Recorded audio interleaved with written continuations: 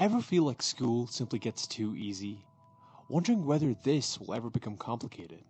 Well, look no further, for we have the IB for socially awkward students with no social life and nothing to do aside from study. Spending hours and hours trying to figure out what TOK means even after your first year. Stressing over your IAs and extended essay towards the end of the year. But not to fear for the exam content, because we know simple questions won't tickle your pickle. So we've made our questions as vague and far from the truth as ever. But not to worry, because we have data booklets and formula sheets, which you'll probably never use in any case. and finally, for those looking for a real challenge, introducing Physics, Chemistry, and Math AAHL. For the real ones who think it's just the same as any other curriculum. Maybe then you'll look back at this very equation and ask, where did I ever go wrong?